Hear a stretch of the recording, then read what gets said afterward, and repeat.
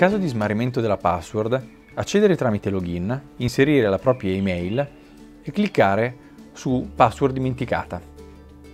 E procedete. A questo punto riceverete un codice temporaneo tramite email, utilizzerete questo codice per entrare e per cambiare la vostra password.